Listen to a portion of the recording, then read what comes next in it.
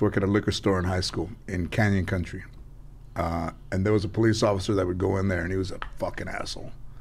And they used to have these tubes of jerky in the front of the thing, and long like that. I'd put them in my culo and walk around for like five minutes, and then I would put them back in the tube. But I put them in my ass, like like, like like a straw between my crack. Hello, everyone. Hola, mis amigos.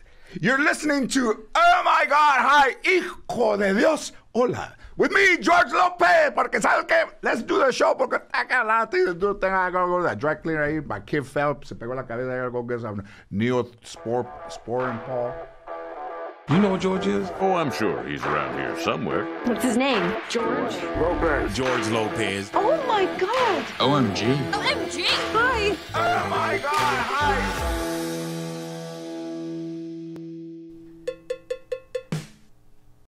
This is all very exciting, Gil. You know, we're six months in, and Amazon, you can listen to OMG Hi on Amazon, and we're going to be featured on a billboard in Times Square. So thank you, Amazon. And you can listen to Oh My God Hi on Amazon. Nothing but the best. And I understand it's going to be on Alexa as well. Yeah, you can you can say oh, Alexa play the podcast OMG Hi with George Lopez on Amazon. I'm going to do it when I get home. Alexa, play the OMG Hi podcast. She'll be loud. Listen to that bullshit. Thank you, Amazon. All right, so she's the story previous to this is is, is perfect for where I'm gonna go. Like somebody eating by themselves. I said, "Did you look sad?" Okay, because growing up, I'm an only child. My my grandparents were disconnected. I spent a lot of time by myself, and I still do. Like over this week, last weekend, I didn't leave the house once. I may have only sh- took a shower once too, nasty. But I'm much like I was. You know, it's, I've been going to the, been talking to the same guy, the therapist, for 20 years, and I think that and I and I talk to him every every couple of weeks. So mentally, I would say mentally, when he and I talk, I do less bad things than I did 20 years ago, than 10 years ago. But now I, we talk more about things about life and less things about what I have an issue with. But I know I have an issue with being reclusive or being in the house, but nothing's keeping me in the house. It's not because you're either people recognize. I don't get.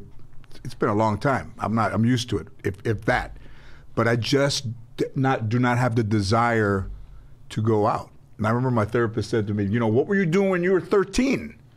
Thinking he had me. Like, I got this motherfucker. what were you doing when you were 13? I said, the same shit I'm doing now. Trying to learn how to play the guitar, watching TV, but now there's more to watch. So, you know, I don't feel alone. I don't feel lonely. But even with the dogs, like I don't connect with the dogs, which is which is why I started to adopt dogs in the first place because the the therapist said, "Hey man, you got to get a dog and you have to make that dog like love you, like be the master of the dog, so that when you come home, he's happy to see you, and then you're building a relationship with the dog. Well, I can't even do that. I, I, I, I told you about the stray dog that came to my house. You can't even. so okay, so And yeah. so that dog, he really is. I'm the uh, I'm I'm like the alpha. This dog comes up, he loves me, he cares for me, and I truly care for the dog. You know, not like a almost like a human. I, I Yep. I've seen No, some no. people get carried away. I, I'm I'm not that bad, but yet I'll take him to the vet. I'll spend money on whatever whatever he needs, and that that damn dog comes over when I skin my knee. You notice I had Yep. say, he comes over and it's like he knows I'm hurt, and he'll come over and he'll start licking my knee, look, licking the wound. You know, he- he gets up every morning I think they yeah. and he comes and he runs and he jumps in the bed and he just wants to get next to me. And my wife says, and, and I don't know why.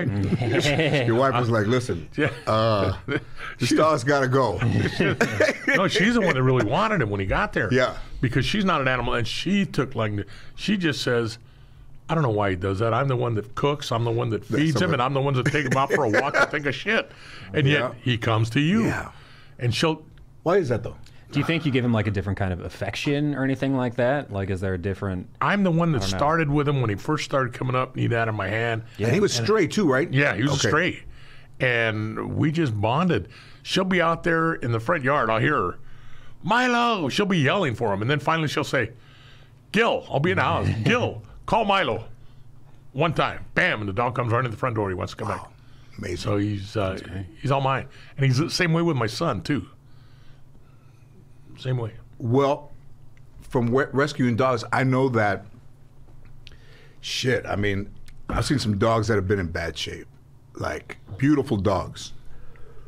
There was a dog that I like a little Papillon, little black and white one that was old. His name was uh, um, what was his name? Kip, Kip, Kip, Kipling, Kipling. I guess I got him. His name was Kipling. Poet's name. And yeah, and if I would hold him, he would literally he would shit, he would shit, he would be, he, and he would stiffen up, mm-hmm. like like this. Like if they handed him to me, he'd stiffen up. He would shit. And you tell a rescue lady like, why why does he do that? He goes, oh, you know, some of these dogs are abused by men. Most of mm-hmm. most of the abusers of pets are men, and his recollection of men is that they beat him up or did whatever to them, and then they tighten up, and he, and out of fear they shit. Like I remember the the the the I don't say I want to say the right word. The Lisa when Lisa was in here from the Big Love Rescue Dog mm-hmm. Rescue, we did a show together, and she's and I said, so what do you do? Oh, you know, I work at Big Love Rescue, or it was Hope for Paws. She goes, you ever seen those videos of dogs? And I said, no. Like Sarah McLachlan singing a Like, sad song. worse. and She goes, you know, if you got time, you know, like go in the middle of the night or go on YouTube and just check them out. So there's videos of dogs that oh are waiting at an abandoned house for the owners to come back, and the oh, owners have left, and they left the dog there, and nobody can go near the dog. Neighbors leave like food and water, but water in a half-cut milk jug and food. Just throw them on the ground, and they abandon dogs everywhere. They find dogs under the cars. They find dogs in the garage, in the corner, and you call this place, and then they come and rescue a dog and every single one of those dogs is it's fucking sadder. Every story's sadder than the next Oh, one. I couldn't watch them. You could. Oh, yeah. You can't watch them. No. to pieces. So I start watching them, and I start tearing up in the middle of the night. I'm like, man. But I end up, you, you know, I wake up once, maybe at 1.30, 2.30. Fucking 7.30 in the morning, I'm still watching them. and then you you look at other th- dogs being surrendered if, when they know they're being surrendered, and they they stop and literally like just become part of the pavement, and you fucking have to go pick them up. And there was this lady that surrendered these two chihuahuas. She takes them to the shelter and puts them on the counter and strips them like fucking inmates at the county jail. Takes their fucking collar off, one collar, second collar, pulls the shirt off the other one, pulls the shirt off the other one, takes the leash off, hands them and fucking leaves with the clothes and with the collars and just leaves the dog there. I, I took a dog to the uh, dog pound, and The shelter, now you know now. Oh, the sh- you know- shelter. You know, there's a lot of things we're going to talk about today. Then, because because I've, I've, I've I've lined up five things that you and I don't know that everybody else knows. And I took it to animal. Con- I took him to Baldwin Park Animal Control. Yeah, yeah, yeah, yeah. So, and this dog, I thought this was going to be my hero. I started calling him Storm.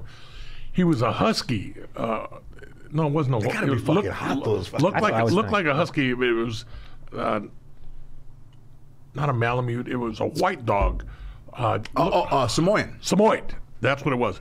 It was a Samoyed in East LA. Nobody in East fucking LA. Samoyed in East LA. Nobody in East LA owns a Samoyed. No.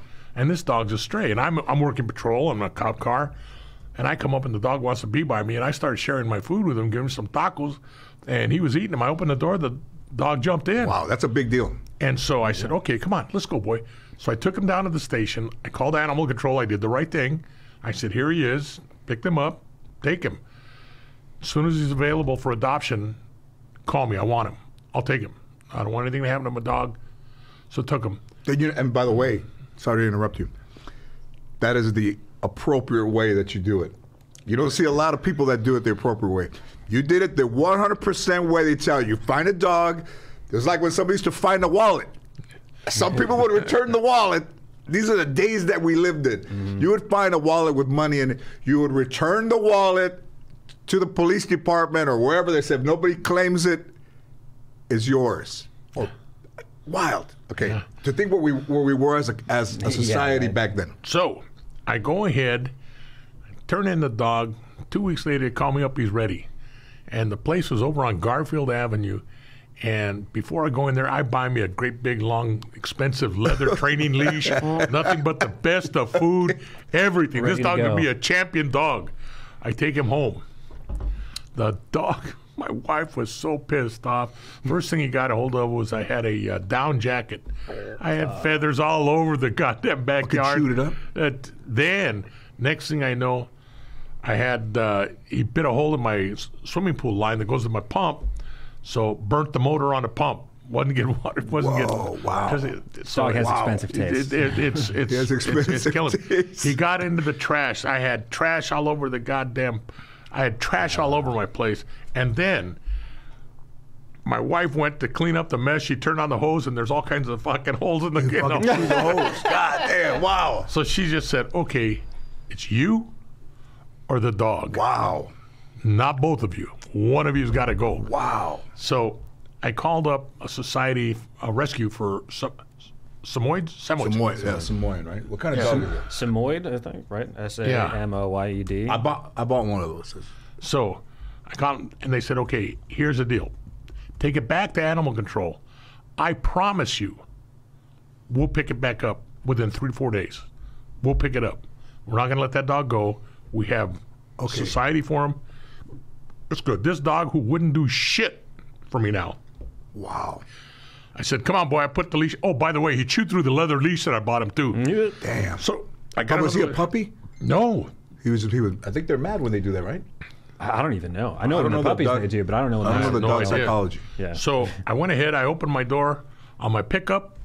Damn dog jumped right on in there. in. He's ready to go, and he's sitting there.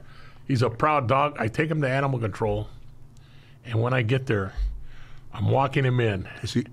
and there's a little boy that's walking out with his mommy, and he's saying, he looks at me, he says, "How could you? You're bringing that dog here so they could kill him." And I'm saying, "No, no, yes, you are. I know what goes on around here." And the boy is crying. She's like, "Come on, come on, Johnny, let's go." Whoa! The dog. said, that kid said that. yeah, he because he knew that he thought I was taking the dog to put him put him down, and he didn't, and he got picked up within three days because I called to check on him. They said no, no, he was picked They up. got- they got him? Yeah, the rescue got him. And nobody want. Nobody wanted him.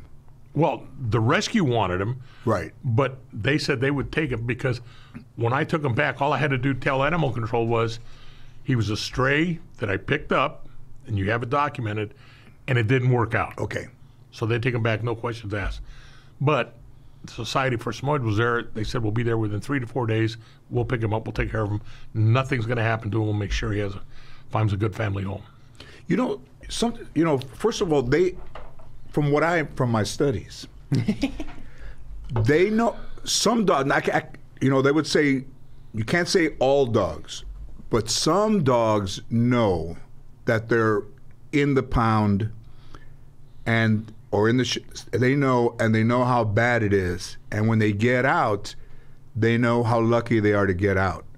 You know, and they behave like they are appreciative to have a home. They know.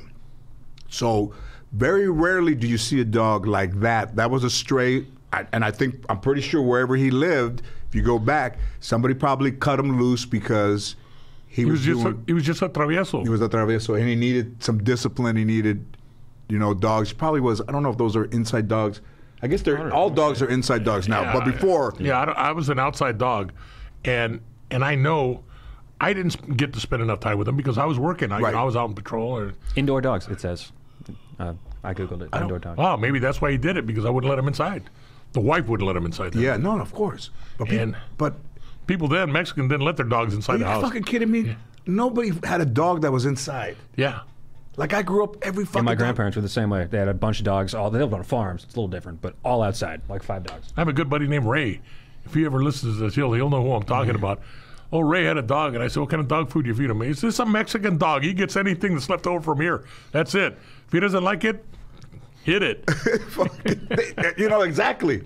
The uh, I had a I had a joke that the menudo on Tuesday you'd flip the bowl, the bowl over the pot over and it'd fall out like Jello with meat in it, and the dog would run over there and just start eating it off the sidewalk with, off, off the the concrete. Sure. And I would go in there to, to give him a tortilla and he'd go. "Hey!" To the- to the motherfucker, "Hey!" I just trying to kick you down a corn tortilla, but fuck you. And uh, uh, he just he ate all of it like a Jello with meat in it, fucking hominy and tripe. in the beginning when my dog this this last one that we had that lives with us now i weaned him on weenies he loved weenies once we okay he's ours no more weenies now we get him dog food dog wouldn't eat the dog food Yeah. I had to ask the vet hey you want me to give him these pills uh, how do i give them to him because this guy just put it in his food. I said he doesn't eat dog food. I tried wet, I tried canned, I tried dry, I tried everything. He wouldn't eat it. All he ate was weenies when he was with me. and they said, get your wife, boil some chicken, no seasoning. So she boils chicken. She gets uh, veggies, you know, the frozen corn and Yeah. not Li- corn, listen, but carrots and uh, peas, peas and carrots. Throws in with steamed, unseasoned white rice. Just mix it together, and the dog eats it like a champ. You know, maybe it was an Asian dog. I don't know. listen, It's a better meal than I eat when sometimes. when I was married, I come downstairs. Anne's making hamburger meat with rice in it, and I'm like, "Oh shit!" I go to the refrigerator, I pull out a couple flour tortillas, I warm them up on the thing, I get a spoon, put them in there, put some pico pica in there, roll them up with burritos, and she comes around the corner. She goes, "What are you eating the dog food for?" and I said, "What? What do you mean the dog food?" She goes, I, "I made that for the dog. The dog has stomach issues. I guess you give him hamburger and like white rice." And I was like, "This is the shit that my grandmother would make." and I thought finally she's getting it. She's making the shit that I want to eat. We were in, we were some good friends. I was some good friends in, in Havasu. And my buddy Ralph and myself, we had been drinking all goddamn day, and we, we were pisto, and and we were there visiting Linda and her husband John. I love that shit. Bisto is And- Bisto is a good word for you to learn. and, Oh, and so Bisto. we're there, but only we had by the we're into the evening. Both Ralph and I were getting hungry, and she ain't offering up food. You know, offer something up. You know, we're getting drunk, and then see her over there, and she's got this mix, and she's mixing it all up. I said, I said, Ralph, look, she's gonna make it. She got this little scooper like for melon balls. she's making ball. Oh, she's making us some more dirt. Ralph, look at this. We're gonna score now. And John and says, No, don't get your don't get your mind set on food because that's for the dog. She's getting ready to feed her dog. Oh shit! I said, "Fuck it." How come she didn't want to feed you guys? Because she wanted you guys to leave. She, She no, wanted you guys she to was, leave. she was drinking with us. oh, she's just a bad hostess. She was a bad hostess that night. You know, sometimes when they, I guess when they want you to leave, they, so so. Uh, I have a house in the desert in La Quinta. This guy burned that uh, is almost like a. Uh, he lived on the lot at Warner Brothers. That's how we met him. He had enough money for an apartment, but he was a writer, and he was like, "Do I want to be a a writer or do I want to live in an apartment?" So he rents an office in Warner Brothers, two doors down from my dressing rooms. I had two rooms that connected. I had two rooms, and we see him, and you would think he was a writer during the day, looked well put together. He was living in his office. no way. So he would, the guards go around, you know, they drive around, they check the doors and everything, and he would hide from them and then make it appear like, I guess he would leave the lot and then he would either come, I don't know, maybe he wouldn't leave the line and come back in. Sometimes he would. And he would make it look like he was leaving. Hey, see you later, guys. And then I guess he would fucking come back on when they changed Circle guards around the block. and he'd make it seem like he was just writing, you know, all night. And but he was living there. So he he's gotten by in, in he's in he's he's gotten by like just hand to mouth, you know. And he's in Titanic in the movie, like toward the end. I mean, he's in the water. Help us! I mean, he he has a line in fucking Titanic. Toward the end, when before Leo Di- DiCaprio floats away, he's just up in the water. Help us, please! Like the fucking burn, man. You know. So I invite him to come and play golf in um, in in La Quinta with me. And I, I rarely go there, so whatever's there stays there. Sometimes I tell him, "Hey, I'm coming. You know, just give me some milk. You know, cereal's all right. You know, different stuff." So I go in there, and he's sitting with his legs crossed like this, and he's got a cup of coffee. And this motherfucker is like MacGyver of, of things. You know, he could take that fucking fake green shit right there, make a fucking caldo out of that motherfucker, just like crazy shit. So he's sitting there with his legs crossed, big coffee cup, and I said, "Where did you get the milk?" He goes, "Oh, uh, you had like Reddi-wip in the refrigerator, whipped cream. So he's he shot the whipped cream in the coffee, and it's it's cream." Yeah. And then I go, "Where did you get the uh, the biscuits?" And he goes, "Oh, the biscotti. You had you had them up there." Like he looked at the bag. They were left over from when I had this dog that I gave up. they were ah! fucking dog biscuits. They were like peanut butter long dog biscuits. He didn't read the package, or or maybe he did. And he's sitting there and he's dipping the fucking biscuit in the coffee and he's eating the dog biscuits, just like a like like motherfucking like goddamn Zsa Zsa Gabor, the fucking sitting there, just fucking legs crossed with the coffee. Where'd you get the milk? Oh, the whipped cream. Where'd you get those biscuits? They were up on the top. I even said Richard on it because that dog's name was Richard. and he goes, "Oh, these dogs that Richard, these snacks that Richard bought. I guess if he was, if he was staying here." You know, I took, uh, I was at work. There was a female deputy. She saw one of the guys putting away what she thought was jerky. It was. It was jerky for dogs. And she said, I want some jerky. And he said, No, no, no, you don't want any of this. It's like, she said, No, no, I love jerky. Let me have He says, This one's old. She says, I don't care. Let me have She got it. She says, Oh, you're right. This is old. She ate the whole thing. So I went back. I had a dog at the time, and I told my wife, I said, This is what they did to Patty Rodriguez over there at the station. Shitty. And my son heard me. My daughter came home and, and he says, "Hey, want some jerky?" And he gave her some of the, and she started eating. Then she comes up to me, and she, says, "Dad," she's ready to cry. Jr. gave me some dog jerky. And I said, "Oh, son, now what am I supposed to do?" You know, I'm like, oh, Dad, you can't let him get away with it. I said, "Okay." I said, "Start barking like a dog and tell her you're sorry." Hey, so so what's the difference? Like, Listen, jerky is, I mean, jerky is Beef. made from dried out beef, right? Yeah, yeah. yeah. So what would the difference be in jerky? What's the difference between a Slim Jim, which I love, by the way? You're not supposed I. to eat them. Yeah. Oily. Who knows what the fuck is in that that makes it go perfectly round? Listen, for meat to go perfectly round in whatever fucking skin that is. It's an abomination. But what? But I don't eat them all the time. But you know, there was a. I never told this story. There was a. There was a hired patrolman. I used to work at a. Used to work at a liquor store in high school in Canyon Country, uh, and there was a police officer that would go in there, and he was a fucking asshole. And they used to have these tubes of jerky in the front of the thing, and long like that. I'd put them in my culo and walk around for like five minutes, and then I would put them back in the tube. But I put them in my ass, like like, like like a straw between my crack. And you know, this was at high school, so that, that it wasn't a, you know. It fit perfectly, and I would walk around for like five minutes and make a couple sandwiches with the with the thing sticking out like a little periscope.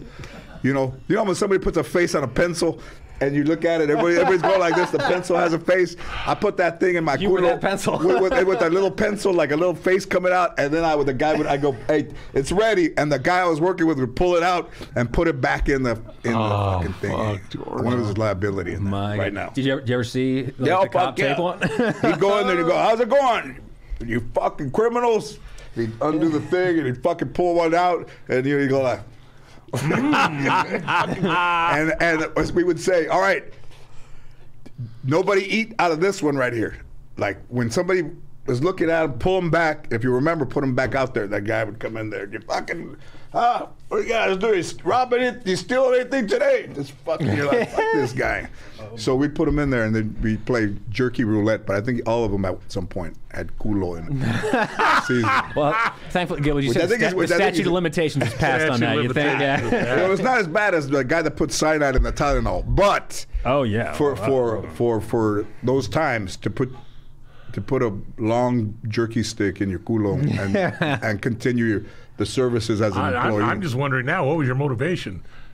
Stick something up your fundillo yeah, I know. like that. that- Are you kidding me? That's there's hilarious. a lot of things that are in there. There's been a lot. There has been a lot of things. You know, like they used to say, old Chicago." That's like, that's an exit, not an entrance. the uh, but in in that stuff, and so whatever's in the Slim Jim. Like if I go to a golf tournament, and sometimes they have like on one of the holes they'll have like a little convenience store set up. I think at Cedric's golf tournament they have like like a 7-Eleven on the thing, and you go over there, and everything's free. and uh, I'll take ten fucking Slim Jims or those things and put them in the bag. And once a year, maybe once a year, I would eat all ten like at the same time. But net, it's rare because you can eat them all the time now, but you don't. But once in a while, I think when the moon is in the right Oh, yeah. frame, you sit in there and you watch TV and eat these things. As are a nasty. father, you know, with my daughters and Girl Scouts, my son played t-ball and then one year of football. They used to sell cookies and candies Right. and all this shit. The best seller was they would sell those beef sticks. no The, shit. the football team got them, and they were easy sell. Easy. Take them to the station, put them up to everybody wanted to take them out. They were all culo free too. you never got they it from a started to wrap. They store. started to wrap them. I'll only eat one now if it's wrapped. But but Wait, these weren't wrapped? Oh, you're talking about the ones you had were they not weren't wrapped. wrapped. Oh yeah, in the Oh. old days. Oh, I didn't even think They about came in a that. tube. They came in a tube. You could just pull them out of there. Well, that gives the story a whole new flavor. Oh, so you know back then ex- ex- exactly. So in Little League, my grandmother worked at RCA over there on uh, Roscoe and Balboa. I ended up working with her, which became the thing for my show that we worked together. Because you know when we started to put the, sh- the show idea together, they would say, "Well, what what are the things that you guys did together?" And I said, "Oh shit, you know when I was like 20, we worked together. Perfect. Make a place where we, her and I worked together. Yeah. Perfect, per- perfect. It just it didn't look staged. It didn't look unreal." We worked at the same place, and I became like the boss, and she was the worker, and then you have the conflict. And um, they would in in little league they would sell. Um, there was those chipmunks that used to that used to sell the, the, the what would they call it butter toffee peanuts, Oh yeah, yeah. but they were like the chip the two fucking chipmunks or whatever. Chippendale. Like the but but it had a chipmunk on the package or whatever. Anyways, for little league you would sell butter toffee peanuts, and to this day. I have some in the house. I looked at them a couple of nights ago. I was going to eat them, but they look, they all stick together. They, they look a little bit gotcha. I buy them at the fair. right? Right. So I was. Can, I can't. I used to go door to door. I fucking hated it. I mean, I'm, I'm not a door to door. Listen, I couldn't fucking even talk to my friends. I'm not gonna go fucking door to door. You stayed at home all weekend. You're not going to want to go door to door. Go to. If a house was on fire, I would just sit in there and burn up. Why'd you call your neighbors? I don't talk to those fucking putos. just fucking sit and burn. I'd rather burn up than knock on my neighbor's door. Hey, could you call 911? I'd rather. I'd rather die. So I don't know what the psychology. I don't know. That's, that's good fodder for your next session. I, Remember that's that? fucking yeah. I don't know why, the, but he, I think he knows. So my grandmother would take it to work and come back and go here and throw it at me. Me two pages were filled out of like of shit that was she had sold 250 fucking boxes at work, which is perfect. But really, you want to teach me a lesson? You would say, "I'm not going to do that for you. You're gonna have to do something for yourself. You're gonna have to go door to door and sell. And what if I don't? Then you're not." So, cut to. Funny how things connect. The in San Fernando High, the coach Martin had, passed away. He's passed away a few years ago, and then that was the one where he gave us two hundred fifty dollars worth of car wash tickets to pay for the batting cage and the stuff that the players had to pay for. But he, didn't tell us that if you sold no tickets, you were still liable for two hundred fifty dollars. Like you owed him two hundred fifty dollars. Didn't tell us that. Of course, why would he tell us? I didn't sell any. I didn't even try to sell. Then when I go there, he goes, "You owe me two hundred fifty dollars." Like, "For what?" For these tickets. And I said, "I didn't sell any tickets." Yeah, but you're going to use the equipment. You're not going to sell any of these tickets. What do you think the equipment? Do you think it's free? I said, "Hey, man, fuck you and fuck your equipment. I didn't. I'm not giving you shit." Then he went in on me, telling me I'm a quitter and how shit gets tough. I fucking pack it in. I'm a fucking. He likes to see me in ten years, see where I'm at because, you know, quitters don't get shit. Let's see where you are in ten years. I'm like, oh yeah, motherfucker. And we're, I'm a, I'm probably not even 18, and we're this far away from each other in in the gym. I can still remember standing, had two dudes behind me, and he had the assistant coach behind him, and we're like this. and then we leave, and the, my, my two friends were like, "Fuck!" I- They were tripping, man. I never seen a student and a teacher go at it like that, like Yeah. back. Fuck you, fucking quit, motherfucker.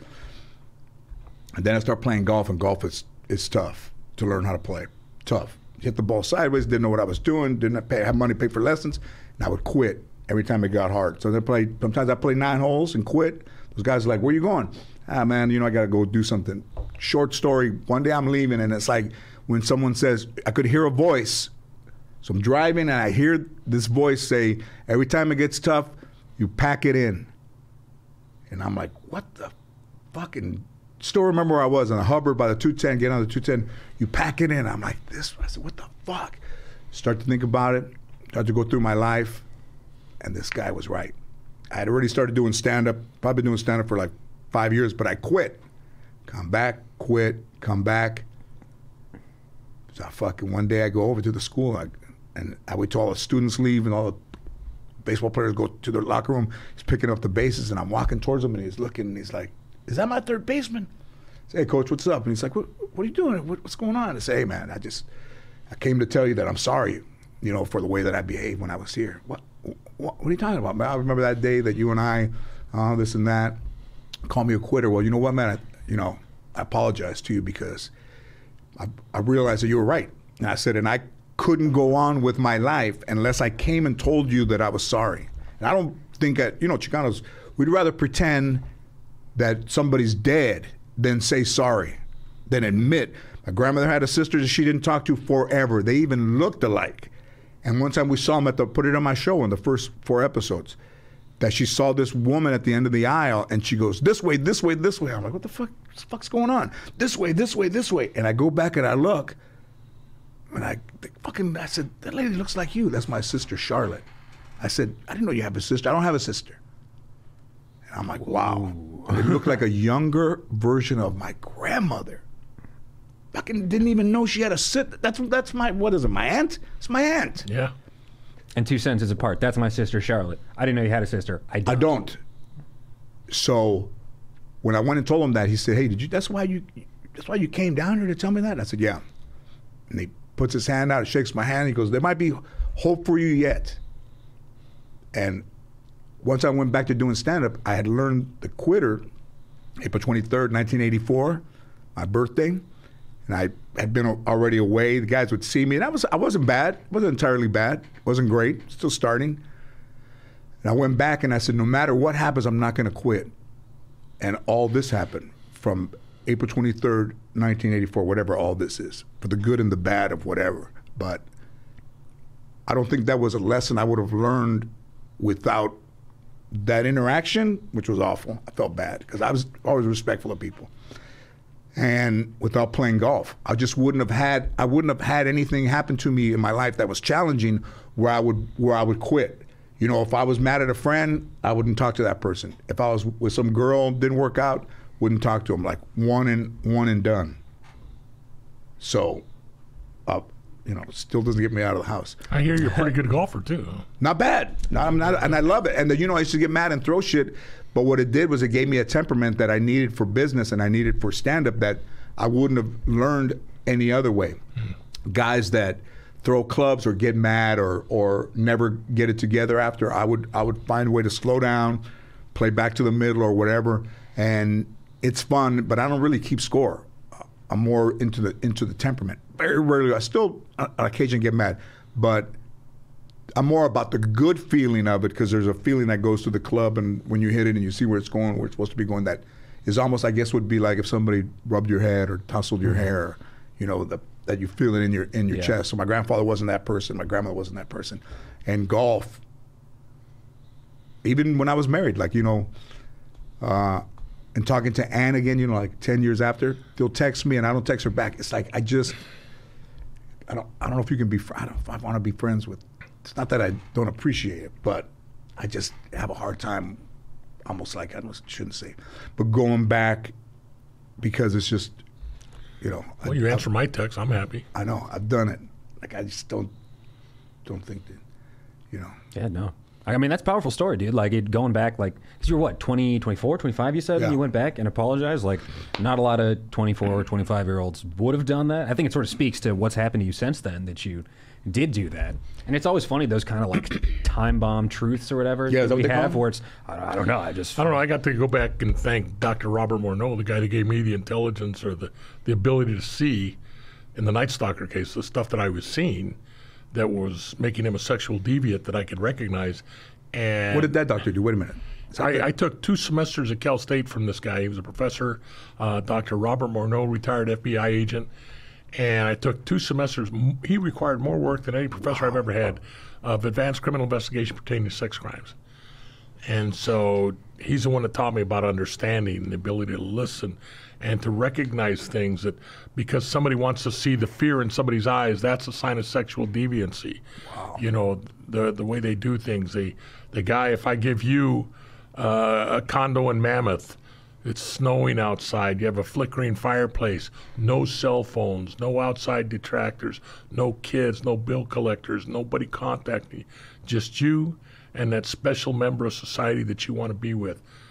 Music, you're both out of the shower, white bearskin rug, hors d'oeuvres, and wine or beer on it.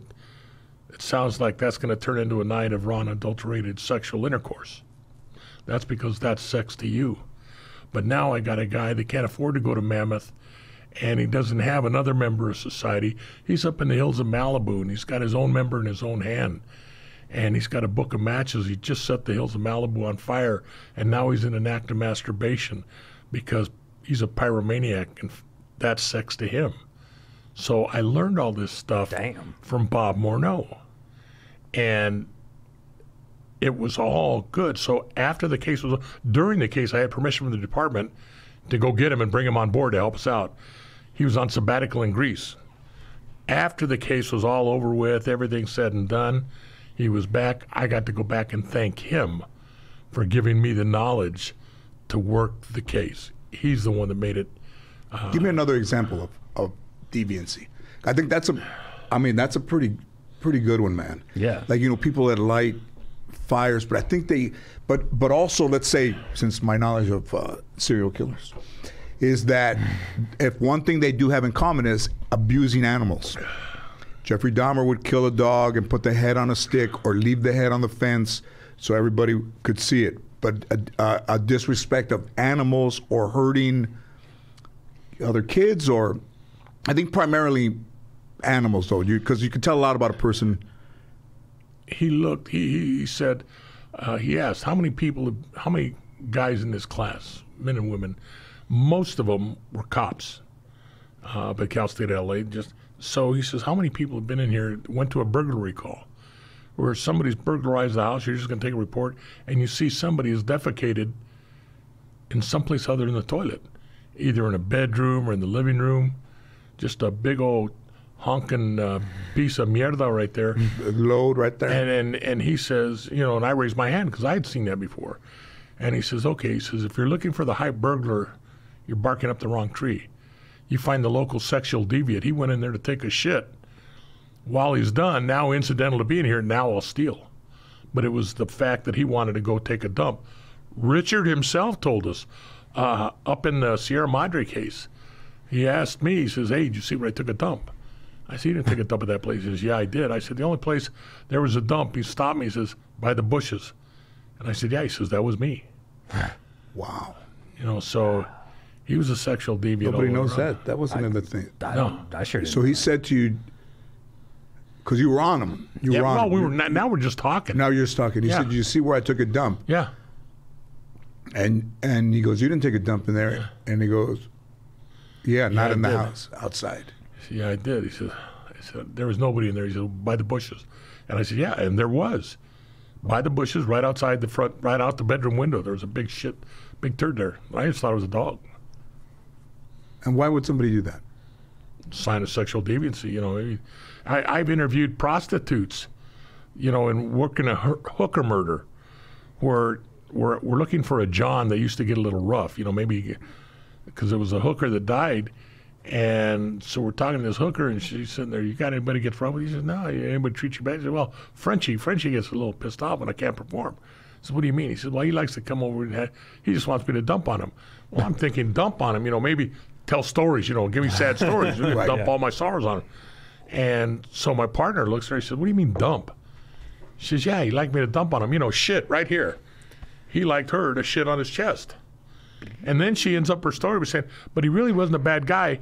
He had this patch right here in his arm, something Unified School District. The guy worked for the schools. Whoa. And he wore the patch to the hooker. Yeah. yeah. So he was a janitor, a bus driver, something uh, for the school. What's the psychology of that? I don't know. They ask a doctor why, you know, because in, in It's a deviancy, right? It- it's a But What is it? deviancy. That uh, another deviancy, uh, necrophilia, where people like to a have sexual intercourse with dead bodies. You know, and and Morneau just says, for purposes of this class, sex is whatever makes you feel good. That was his definition for sex. Whatever makes you feel good, because what turns you you on may not turn somebody else on. but also has to trace back to childhood. No, I don't trade. I don't know where it stems you- from, how they get it, how they get their information, how they gather it. I don't know. I mean, it's too it's too easy to say it goes back to childhood, but but there is, I think, some characteristics of a certain type of behavior. I think in, in, in serial killers that they were Yeah. abusive. Abused. Richard was abused. A lot of them have been been abused. Uh, what was the what was it, what are the guys? that- I think even one of them. I think the wasn't the Golden State guy. Wasn't he a police officer? Or Yes, he was. a Golden State Killer was a police officer for a while. Yeah, I I don't know, man. That's I believe, and that now, now don't quote me on this. Last week, I believe I told Grant I, I was here early and I was studying because I know Oh yeah. I noticed you like the serial killer. I needed the crime, the drama. So I was studying. I was surprised you didn't bring it up, but I wanted to be prepared for you. So I was studying on Rodney Alcala that's right. because He passed away. he passed away at age 77. So the looking dating up game killer. the dating game killer and looking, reading about him, I believe he was abused as a child as well. He was abused as a child, um, but But, all, uh, but also he wasn't unattractive. No, Okay, so what Ted Bundy was not unattractive. was Yeah. not unattractive. Did he win Richard- when he was on the dating game? He did. Yes. Oh, wow. Uh, But the girl backed out. She, she, didn't want, she didn't want to go out with him. She thought he was a freak. because she got fucking creeped out by him. Yeah. So he would pretend he was a photographer. Yes. He was in good shape, had long hair, not a bad looking dude.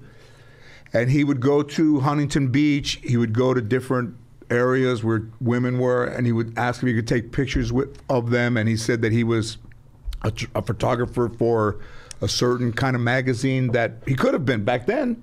Yeah. He could have been. And those girls would say, "Yeah, sure," and then take him in his car, and then you know take him back to the place, and he had a bunch of pictures in there. Yeah. This was like 70s, 80s. Is that when Yeah. he was active? Some people said, shit, uh, Sophie Dickman testified that Richard Ramirez was quite a handsome young man. When he pulled his hair back and he wore a suit, it looked like he was a Miami dope dealer. You know, he was ready to go out Saturday night. Thin, high cheekbones. Some people thought he was very good looking. They did, and you could see where, like, if a guy is uh, charismatic, where you don't get put off initially by someone being creepy. So if a guy is charismatic, like Rodney Alcala had a good had a good rap, and and you look at Richard Ramirez, you wouldn't necessarily be put off initially. So that's his kind of defense. Where Yeah. if I can get close enough, Ted Bundy, Yeah. or pretending your car doesn't work, or like in Silence of the Lamb, you know, can you help me put this uh, couch into? He's, broke he's- my he's got a broken arm, which I think that guy should have won an Academy Award for. His Oh, that was great. Oh, Buffalo Bill, right? I forget the he should have won a should have won an Academy Award. Lotion in the Nebraska. Ted Levine, Ted Levine. Levine, Aaron from downtown. and he does, and he does. Uh, he was on some show He, on he was in the movie Heat, too. TBS, and yeah. But I mean, for that performance, didn't get an Academy Award. I don't know who beat him that year, but yeah. I don't know. So, um, I was watching Woodstock '99 on on HBO. Have you seen it? Uh, no, but I've had friends uh, recommend. Is it new? Just came It's- out. I think it's brand new. I've, yeah. I've seen it maybe five times Oh, already okay. because of the psychology of. So this is '99 before cell phones, and they even say like Woodstock '69 was more of a aberration of like it, it, it. You know, they didn't make any money. They had this concert in New York, Woodstock, New York, called it Woodstock. They had all these things. The fence came down. People were swimming in water. There wasn't any porta potties. I don't think they were swimming in the lake, doing whatever. And it just drugs and hanging out and tough circumstances and backed up traffic and trying to sell sandwiches and, and all those things. But somehow it became an iconic three days. Yeah, lightning in a bottle. Lightning in a bottle. Yeah. And then Woodstock 99, same guys try to do it. They're older now, before cell phones, and they book all of these acts. And I mean, there's a lot of people there. There, there might be 500,000 people there. Wow. And I remember the girl, so there's a lot of, a lot of white guys, 22, 25, with backward hats and all that angst at drinking. They had some security, Peace Patrol guys, like in yellow shirts that say Peace Patrol, and they were supposed to ones that go around. Those guys are so fucking hot, wouldn't let you try, trying to sell water for four dollars a bottle. Mm-hmm. Beer and water were the same price, and then those guys were like, "Fuck this, man!" And then it was on an old Air Force base, and the fucking heat from the sidewalk. It's brutal, and they already have issues. It's six hours. They're six hours into the first day, and they're already having issues. And Moby, the guy Moby, the DJ, The- the artist, beat- yeah, guy, yeah. he said something that I wanted to ask you about. He said, you know, and it's and it's true. He goes, he goes from years of being in clubs and years of performing. He goes, we got there, and I got off of the bus or his ride, and he got out, and he says, "There's something in here that just fucking doesn't feel right." And they and he said, "Well, what was that?" He goes, "You know, just years of performing. Like I can tell already if I get there, what it's going to be like. And so can I. I can tell from 42 years of, at least 30 of them, for solid working. I can tell in the room if there's going to be a problem or it's going to be good. I can tell if there's going to be an issue with somebody. And sometimes I call people in. I say, hey, man, there's some guy out there that's talking. Can you have somebody to, can't find him? Just, well, I can hear him. Just fucking go out there to find him. Sometimes they remove people, but I tell them before, even when I let a guy go before me, you can hear somebody yelling out. Call the guy. I said, "Hey man, there's a dude out there that's talking. We're trying to find him." Well, motherfucker, find. What do you mean you're trying to find him? I can hear him from in here. How can you not find him? You could kind of hear it, and he says there's something in there not right. So what happens is they start to paw at women. You know, it's all confined in the mosh pit in the front. They put girls up. Now they're starting to rip girls' tops off oh, and sexually assaulting girls, and just this Lord of the Flies mentality. And they're in there and ripping tops off, and girls are doing it in the beginning. They're doing it on their own, and then they're showing the you know the chest, and they cover it. The radio station there has the radio station banner and two girls and the DJs up there, and they're showing their tits, and it's like show your tits, and it becomes that for like a day, two days, and even Rosie Perez walks out there in a dress, and they're like, "Show your tits, show your." The whole crowd is chanting. She's like, "I'm not gonna show my tits." They fucking boo her, and they're like, "You can just." It's just fucking this mob, Yeah. and you can see, and then you see interactions of people, and they go, "I don't know who put this fucking lineup together," but you have like Jewel, and you have uh, uh, uh, Moby, Alanis Morissette and then you have Alanis Morissette, uh, Limp Bizkit, fucking Rage Against the Machine, Metallica. Those are the last four acts of of s- Saturday. So Alanis Morissette goes up there and she's singing like "Isn't It Ironic?" and fucking they're not into it, and you can see it. The fucking guys are like, they're fucking just like, shut the fuck up. Yeah. They're just fucking just, and you can see it in her face. You can see it in her face, and and I know the look on somebody's face when they're like, fucking get me the fuck out of here. And she's got to play.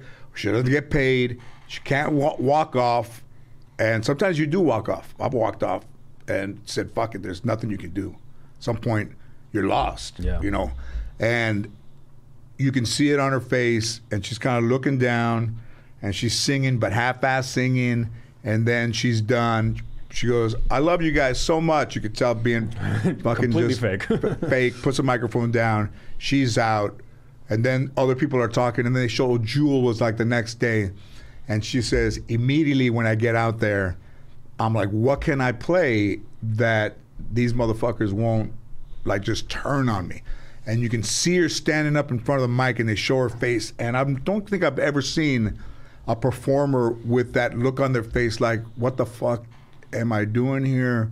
And what do I got to do to get the fuck out of here? Like just this look of like panic.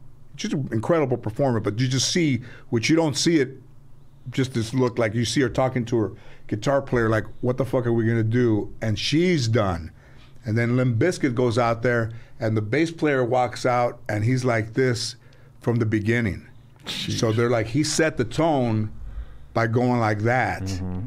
and then it just went got got worse and worse. And then they went to him and said like, "Hey, try to, you know, calm everybody down." And he's like, "Fuck that." He didn't do it.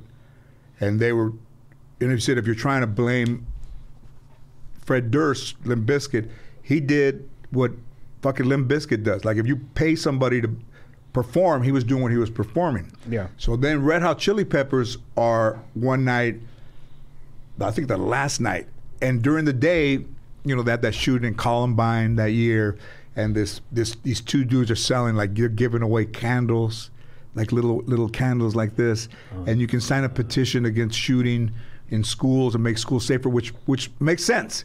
And they got this African American dude, the whitest sounding dude ever, and he's like, just join us tomorrow, take this candle, and tomorrow at eight o'clock we're gonna have a, a, a vigil.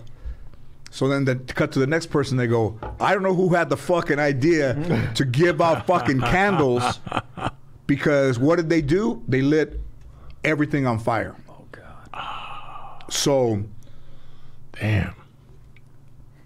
they start fucking tearing down the fucking monitors. There's three monitors. They start tearing the shit down. They built a, a peace wall that, that, that kids painted that week. And the wall goes, you know, it's pretty long distance.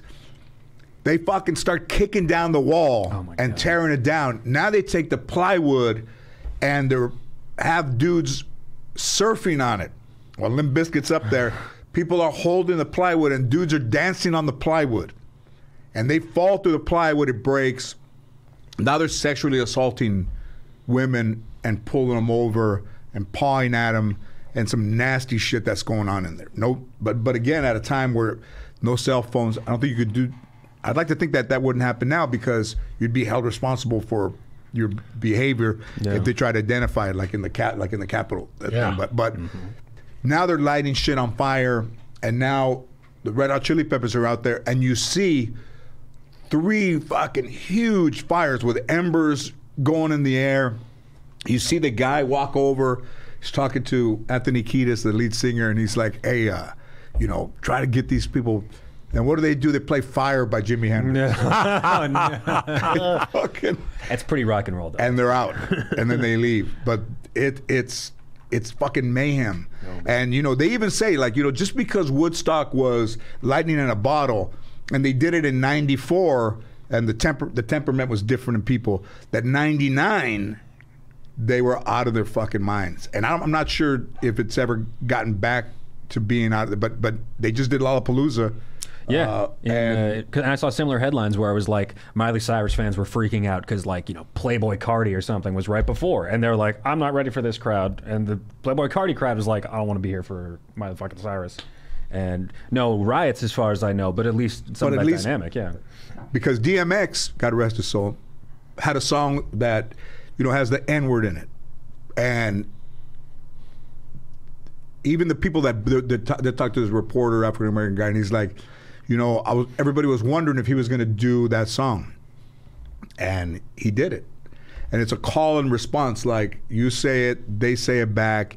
He does the words, they say it back, and then the African reporter is there talking, and he's like, you give license to everybody to say that word. He goes, even if you had friends that you didn't know were N word sayers, he says, like N word sayers, they're all doing it. And I mean, if there's 250,000 people there, they were all doing it. He goes, so what if you're an African American person in the crowd and you hear this? How do they treat you when you walk by? I mean, all of it makes sense. Mm-hmm. Yeah, just once you've like activated that mode. But in that in that call and response, they were that guy may DMX might have had the best set of anybody because he went early. I think James Brown started it Friday at like twelve thirty.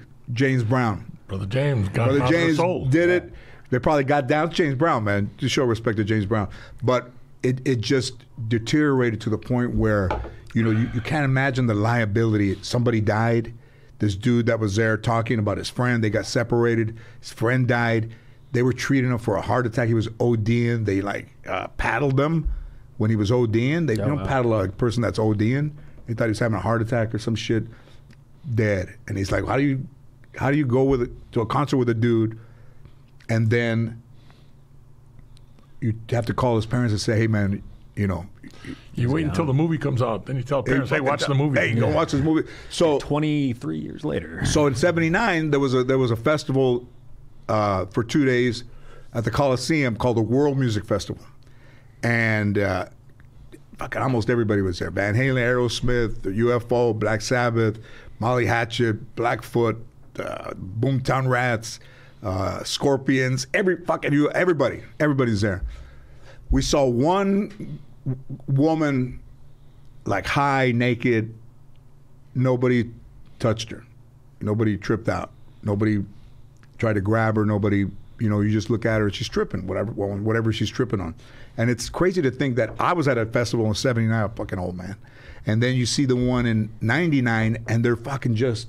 They even said like, this woman, this girl said that they had three dudes had her by one leg, three by another one, and they she heard somebody say, "Rip her apart." Oh, oh Jesus. I mean, what the fuck?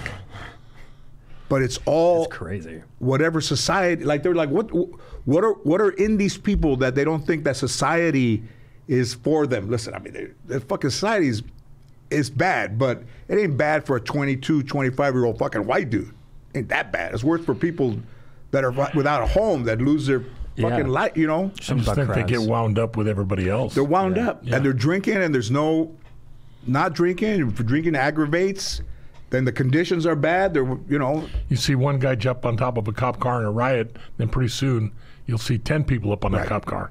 They just get wound up in the frenzy and then they go.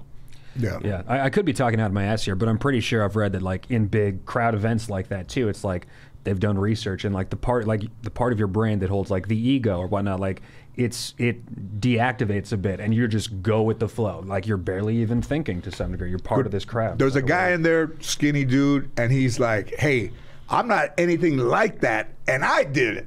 He's like, "I was surprised at myself." Got fucking mild mannered dude. He goes, "I did it," and they're just, and at the end, now they go to the concessions and they take over the concessions and they steal everything that's there. They tear down the fucking booths. They tear down all the T-shirts. They open up a truck that has frozen fucking pretzels in there. They start throwing frozen pre- pretzels at everybody. And at the end, you just see all these burnt out frozen pretzels on the ground. And it just, they said it just became like the symbol of, man, fuck this $4 water bullshit. And they, the, the, pot, the porta potties were overflowing and people are mudsliding in the water. It's shit water and they're in there. Man, what the oh. all in a all in a festival.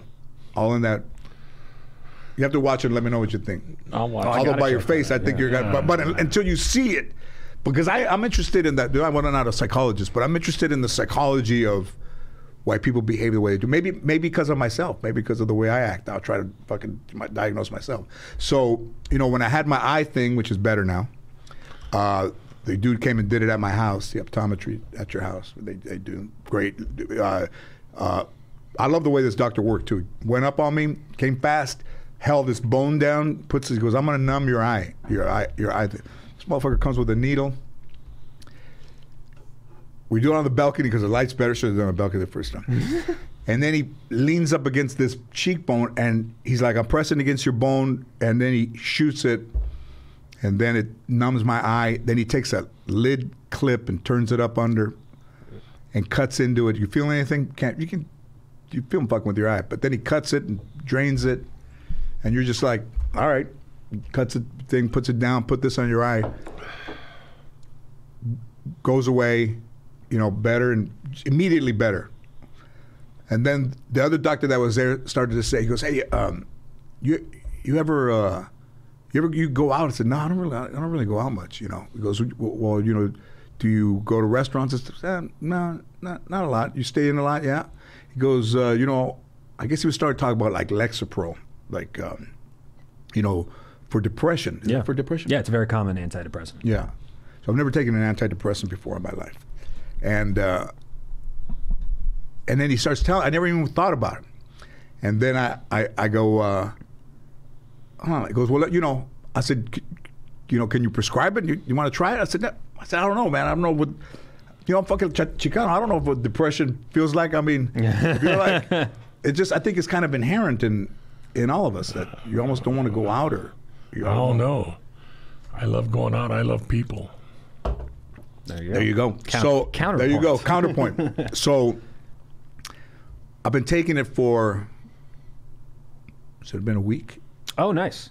Yeah, yeah. I've, I've been on Lexapro before. I know a, number of people have been on Lexapro. I- I think it takes, for, for me, I felt it right away. For a lot of people, it takes, I think, even weeks to like You know build what I- up to like an effective felt it right away, though. Yeah, yeah, yeah, yeah. But you- yeah, I tell us about it. Have you been I don't think it? I mean, I think I feel better, but I don't go out.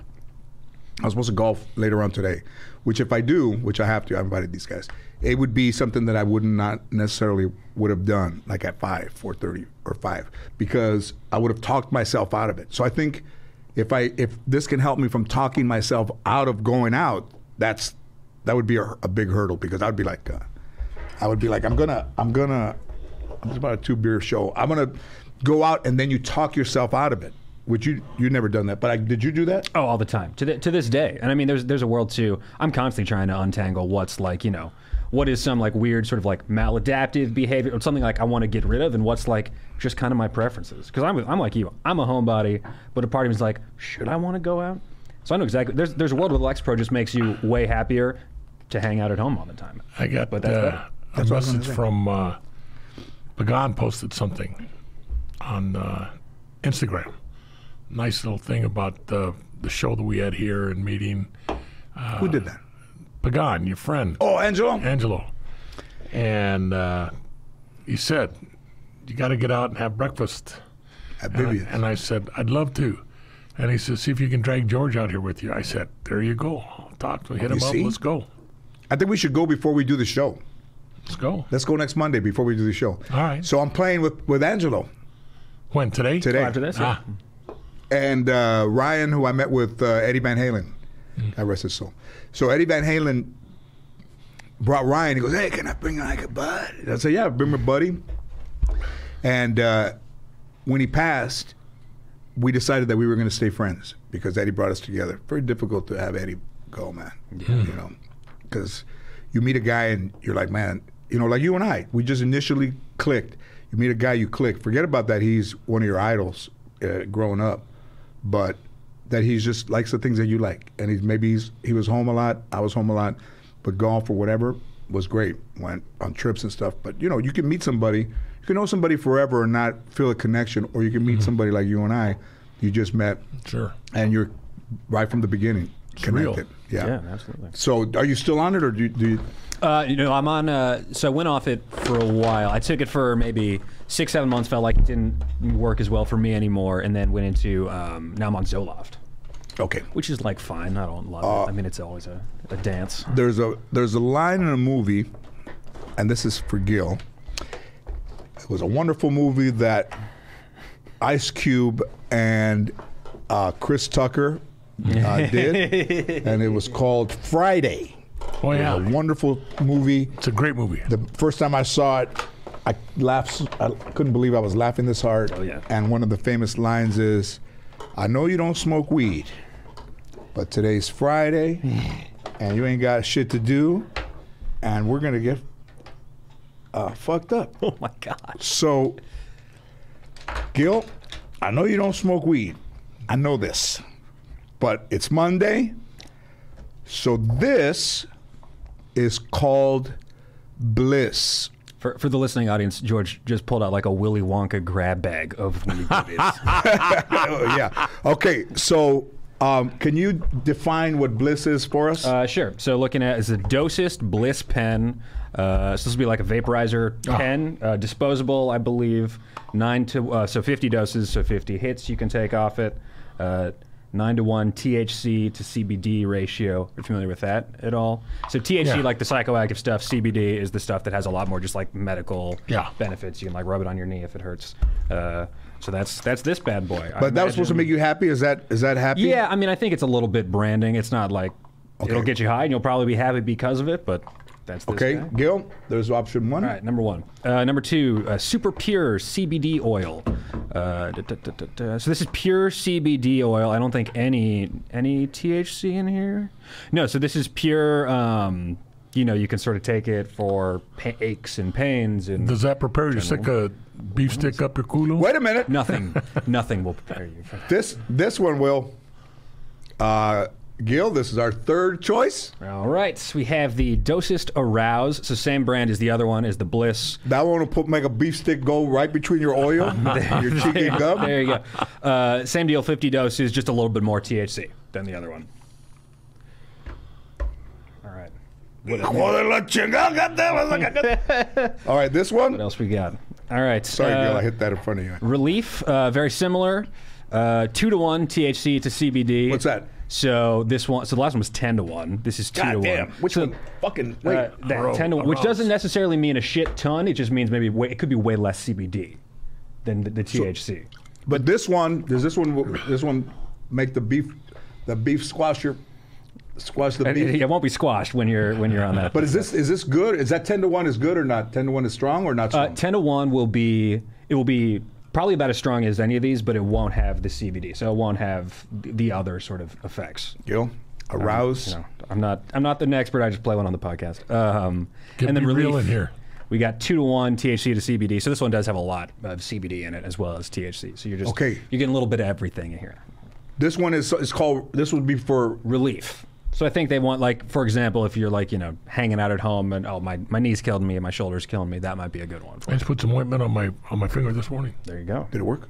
Yeah. Okay. You could throw this in the trash. You could do whatever. I'm just gonna put it over there because I know you have, you know, problems with pain. Next up.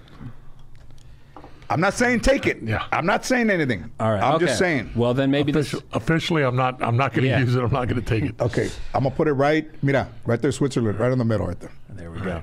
Uh, so calm, another dosist pen. They wouldn't even Uh, stay up. That's. Oh, This one, so the one I arouse the, the the beef one there, that'll that's a ten to one THC to CBD. This is a one to ten THC to CBD. So this one is mostly CBD. Yeah. So in terms of your your pains and whatnot, and not wanting to get too fucked up, this is probably your guy. So I will, if you want to Switzerland, that, I, I can't believe that you used the F word. I'm, s- I'm sorry. This, is, right. a, this is a Christian podcast. There's one more. Uh, and then lastly, sleep. So this is a eight to one THC to CBD, and probably my guess would be that it's uh, an indica, which if that means there's indicas and there's sativas are the two sort of varieties of, of THC. Indica, the general idea is like in the couch. It's the relaxing one, hang out at home. Sativa, that's the more like heady, high, creative, whatever. In the couch. In the couch. That's that, you know. That's what. That's how they explained it to me because nobody Yeah. could ever tell what's the difference between indica and sativa. They Yeah. go indica in the couch. Exactly. So this one has a good amount of THC, but will probably be a, a good knockout. You know, what? I took a little hit of that bliss one, man, and I'm already feeling. Feeling pretty blissed out. So You're starting to get out of focus. I'm a little bit. I'm a little. To bit, me, A little blurry. Yeah, I'm a little bit tripping, just on that little thing. Okay, and these are. Oh, there's more. Yeah. okay. I can't, uh, we could be here for. You know what? My eyes are go. I, hey, I think the Lexapro is making me not be able to see. I just went to the eye doctor before coming down here today. What are you saying? Uh, one of my eyes is starting to. So this is the it's- dentist. It's changed. So they're giving me a new prescription. In just one eye? Yeah. Is this a The other eye is just as strong. Huh. Oh, so this is. Um, Flower, they say. I think this is just a dropper, actually. What? Let me see. little dropper. I don't even know. I think you might. This would probably like rip off the tab and drop it tabs on your tongue. But this is. So it's like CBD oil. I'm pretty sure is what this is, and it's sativa. So that's a. It's Jack Herer, which is actually a really popular strain. I know uh, Seth Rogen calls it his working weed. I've heard that before. Uh, it's good for the creativity. Uh, you know, for when you're writing your novel. It is really. That it, and it hits everyone different, but I know for a lot of people they do like that. All right. So that's this that. one's Gil. Got some more oil. This is a Girl Scout cookie, uh, which is a hybrid, uh, and also Girl Scout cookie. yeah, Girl Scout cookie, and also super popular. Does one. it taste like Girl Scout cookie? Um, I don't know if the oil will, but I've I've smoked the actual one before, and it it, it tastes it's very like.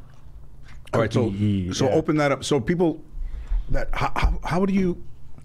So I see. What you, is it? If you look on the very end, there's like a little tab, but I'm pretty sure you pull off, and then you can like probably squeeze that to like Oh. blot out some drops.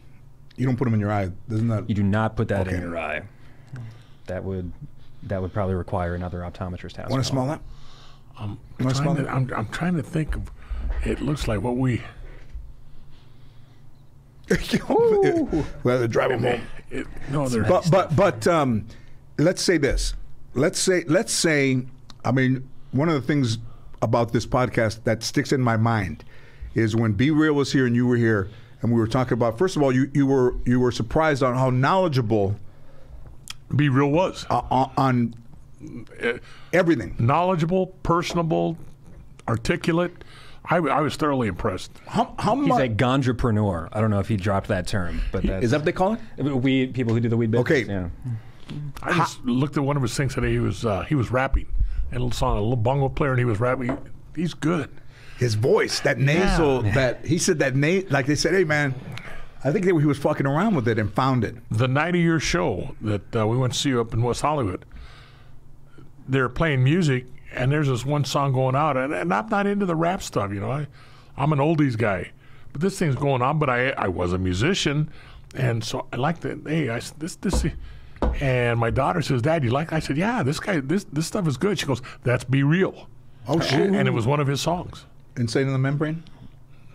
I don't know what Was it it? was. I don't The know. rock star is. Wanna be a rock? Yeah. um. Okay. Anything else? Yeah. We got we got plenty. Sir. Okay. Okay. It, it, Ooh, you know, grape ape. So I've not heard of this one before, but it's uh, it's a grape ape, more oil. Um, it says evening and oh, it says indica. So this is probably just an indica too. So Okay. good one for the evenings. Let's talk about when when you were an officer. Uh-huh. But you didn't you didn't pull anybody over. You you you were or you were uniform. You were I, was- uniform. I started started off- Okay. Let's talk about when you were when you were uniform. How different was your was your job being uniform as being a detective? Oh, difference in night and day. When you're in uniform, you're essentially what they call arrest oriented. So you got criminals, you arrest them, and that's all you care about. You're taking bad guys off the streets. When you're a detective, you're prosecution oriented. So now they're in custody or the report's been written. Now you're worried about getting them prosecuted. So it's a whole different. Did you know that? No, I didn't know what this is. It's Okay. a whole different game. And then the sheriff's what what are the what is the sheriff's jurisdiction?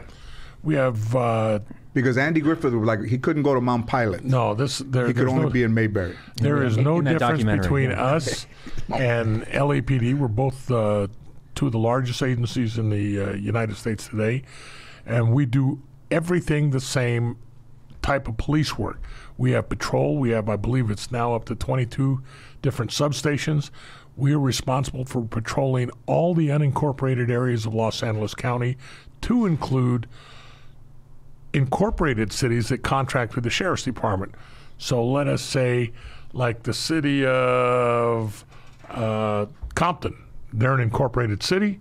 They don't have their own police department. They did have their own police department one time. They chose to pull away from that for whatever reason they had at that time, and they've asked the sheriff's department to step on in. So now they have a contract with the sheriff's department, so we do their police work. They don't have any more Compton Police Department. No. Okay, I think in a in a Biggie Tupac uh, documentary at that time they did have Compton Police, and I think they may have Yes. Just they for did. corruption and Yes. yeah, There, there, there, was, there were some problems. And some cities, let us say Hawthorne Police Department, they have their own police department. They're an incorporated city. But whenever they have an officer involved shooting or a murder, then they bring in sheriff's homicide to do it because it's a specialty. Ah. Interesting. And, and we do that. Okay, so let's say Hawthorne, they're more into the just maintaining peace, They're more into regular patrol duties. regular patrols. So, you know, and if they have a ki- a murder, they're not equipped. They're they're not the people that you would want. no, they don't have the man. the right way. They Well, don't have they, they they don't just have don't the- have the manpower, and they don't have the time. To, they don't have the time to dic- to dedicate to the murder itself. It takes it, it's it's not like TV. It, it takes hours and hours and a lot of dedication. You have to have the logistical power to wherewithal to do it. So uh, when somebody gets killed and you know he ran to New York, well, you tell I just tell my people, hey, I need to go to New York. Well, here it is, go. You don't have the ability to do that in a smaller city they're they still have everyday crime that they have to worry about. They don't have the time to dedicate to murder investigation. Okay, so um, Gianni Versace Yes. was was murdered on the steps of his of his uh, mansion in Miami. Yes. He had gotten out, walked down, no bodyguard. I think he had security, but he did, didn't take security. There's a there's a kid from you know San Diego, Andrew Cunanan, probably a, a sociopath, murder. What is it? Psychopath, sociopath, Sociopath. liar. Made his life bigger than it was. Said he came for everybody. Had a different story for everybody else. Sure. Um, lied to his, didn't see his mom, his dad in the Philippines. I think his dad was almost the same way. A trait that his dad had was arrested, left the United States, fled, couldn't come back to the United States. But then he, the Cunanan had to kill somebody in Minneapolis. A, a, somebody he was kind of dating went over there, killed him, uh, killed a friend, wrapped him up in the body. The thing they thought. Then he then he moved to Chicago and had a. He was kind of like a guy that would go with older older people. So now you have a murders in two different uh, cities, maybe three. Oh, he shot a shot a like a funeral, like a cemetery caretaker took his car along the way. So you have three murders. And I think in jurisdictions back then, they had a flyer that they had made in Miami, and and the for whatever reason the FBI in Miami or the police di- didn't put it out, like in gay clubs or things like that. Like three thousand of them, they probably would have, who knows, would have caught him before because he was still going out. Mm-hmm. But then you know he walked up on Versace, never saw it coming, and then shot him, and then he went into some caretakers. A lot of people rolled over on him once he got Versace. Yeah, yeah. And I don't know anything about the story. Do you have beef with Versace, or what was the You know what, idea man? there? I don't remember. All I remember is during that case, I was contacted by the news media. They wanted to ask, they wanted to interview me a few times on the Versace case, especially how it would be going, what they would be doing, and there was no doubt. I remember the last time they interviewed me. Excuse me, I said, uh, I believe they'll have them within three days now.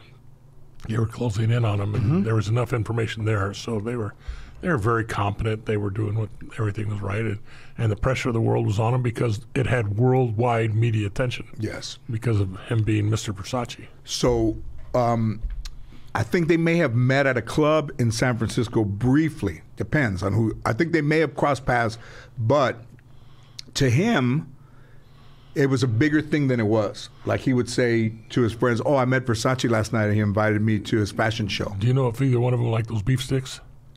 I, I think maybe. I- Going by the way that Cunanan was living, he might have he might have got to the liquor store and got a couple of those those those, those uh, He was up in Canyon Country. the flamboyant, uh, the fabulous beef sticks that I was seasoning myself over. there. But but uh, uh, I think yeah, I think I, he, uh, seasoning. But yeah, in someone's mind, how they become fixated on somebody, you know, like a mean highway patrolman.